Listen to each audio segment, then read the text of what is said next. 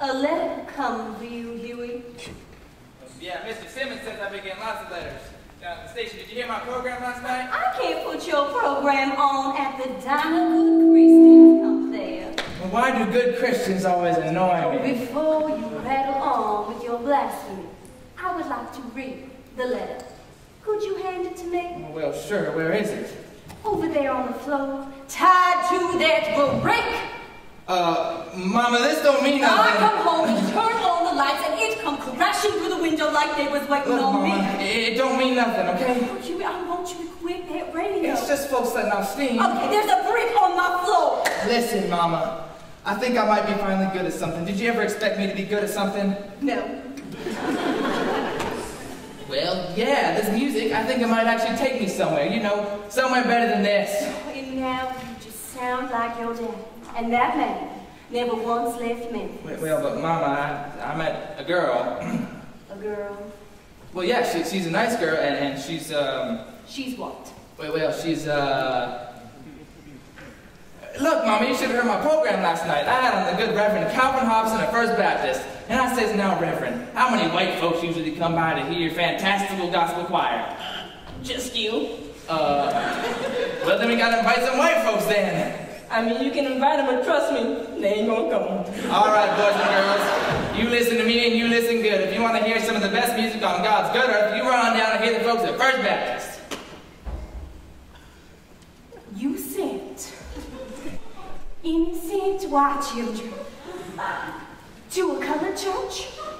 Well, well, none of them are shown up or nothing yet, but Mama, this music is, is like my calling. Your calling is playing race music for white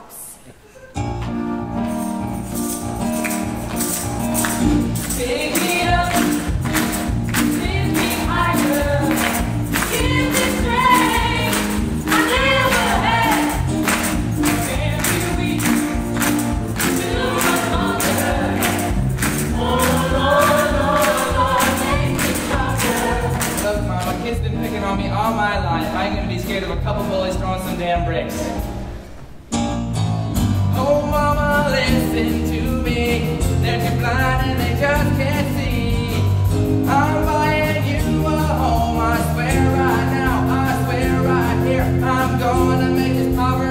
Disappear.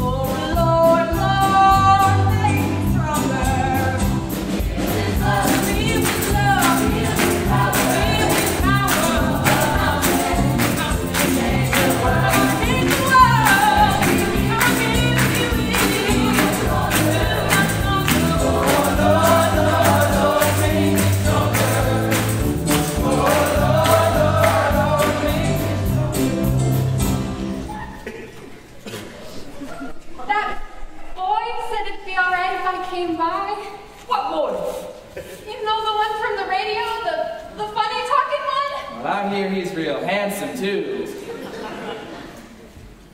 Looks like you brought some friends. Well, I'll be. Pick me up, pick me up.